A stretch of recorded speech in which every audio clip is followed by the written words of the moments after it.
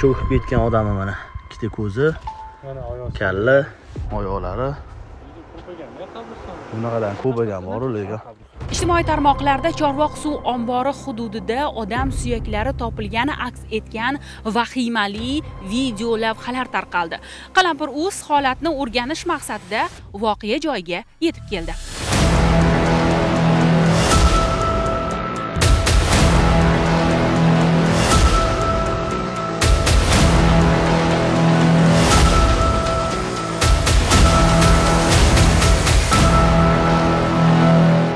turganingizdek mutaxassislar tomonidan barcha suyaklar yig'ilib bir joyga jamlangan birlamchi ma'lumotlarga ko'ra bu yerda odam suyaklari ham bo'lishi mumkin.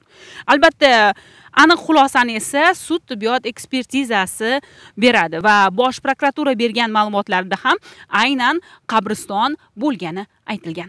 Oldin mana shu yerda qabr bo'lgan.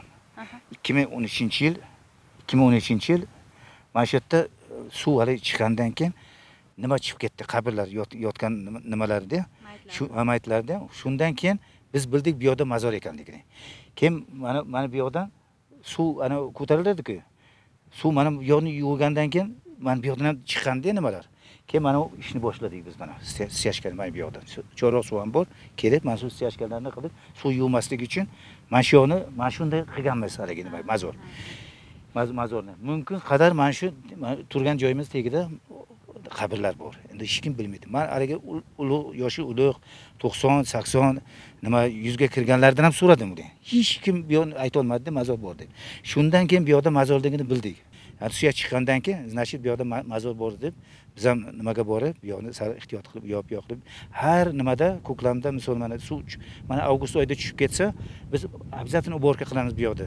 Tozalatamiz ishlar qo'yamiz boshqa qilamiz suyaklarni bitta yarimta suyak agar chiqqan bo'lsa suv yuvilib nima nima bo'sh joylarni yuvib nima qiladida shunda agar mabodo chiqqan bo'lsa olib nimani shayxni chaqirib nimasini qilib ifodatini olib borib mazorga ko'm- ko'mamiz buni endi man aytolmayman qabrmi nima deb? Suv lekin mana shu chiqib mana mana nimagacha keladi mana past tepagacha yemirib yemirib mana shu holat sodir bo'lganda.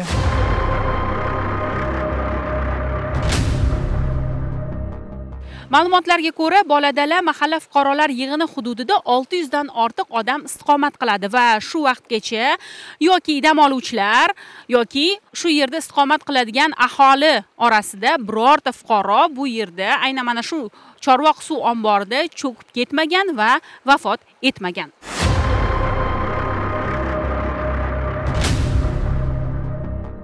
Mana shu oldingi eski yo'llar oltmish haligi chorva gezi qurilmagandan oldin mana shu xalqni yo'li bo'lgan bog'songa boradigan qishloqni yo'li bo'lgan asfalt duchumadan kelardi mana mana stal svet svet svet nimasi qoldig'i mana mana shu yerdan svet o'tganda to'g'ri yo'l bilan ketgan edida mana pastda hammasi dala bo'lgan dala pastlar ham tepalar ham pastlar ham tepalar ham bog' bo'lganda endi endi mana nima suv yuvib yurib mana shunaqa holatga kelganda bu bu yoqlar hammasi endi bu yoqlar hammasi bog' bog' joyi bo'lganda bog' endi mana hozir e, suvni ko'rib turibmiz suv sathi juda ham ancha pastlab ketgan. Bu normal holatmi o'zi? Yo'q bu endi endi suv har yili ham tushib ketardi. Bu bultur suv unchalik bo'lmadi. Bu yil mana qor e, mana erilyapti kun isigan sari nima bo'lyapti? Suv juda tez tez chiqib ket- ketyapti. Kuniga mana o'n sakkiz sakkiz o'n nima metr tepaga qarab ketyapti hozir doimgidan tezroq.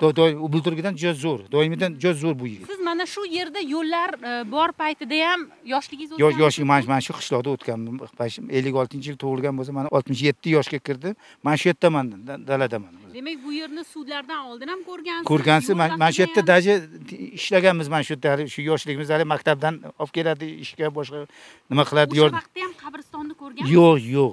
Qabriston mana shu gez qurilgandan keyin ikki ming o'n uchinchi yil bu yoqda qabristonni bilganimiz shu.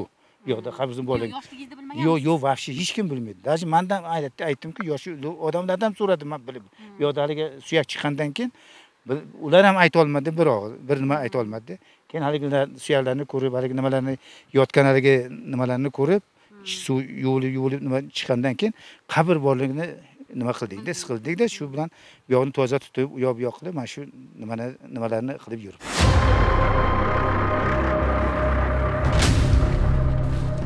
barcha suyaklar yig'ildi va ko'rib turganingizdek qopga solindi. Endi sud tibbiyot ekspertizasi bu suyaklarni orasida odam suyaklari ko'proqmi yoki hayvonlarniki aniqlaydi. Xulosani esa qalampir uzda kuzatib boring